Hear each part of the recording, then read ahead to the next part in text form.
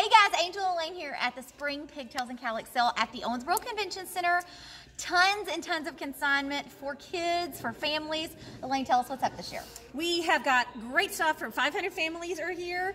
I think they have spent this year together. They have been cleaning their items. The kids have been growing, so they've got these amazing clothes, and they didn't get dirty because they didn't to like go to school or anything, right? Oh, they're in amazing shape, like new and gently used. Totally, yeah. Some things even have tags, never even been opened. A lot of our baby things are in boxes Oh, still. yay! And uh, over 60,000 items Yes, this year. yes. Unbelievable, and you will find it unbelievable. What are the dates this We year? are here Friday, public shopping, no admission is Friday 8 to 5, Saturday 8 to 1. Saturday is half price day, so some favorite things, day.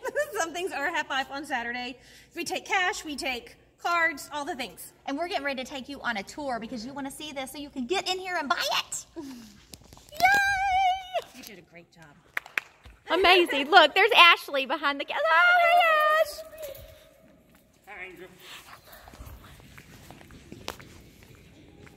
Beauty.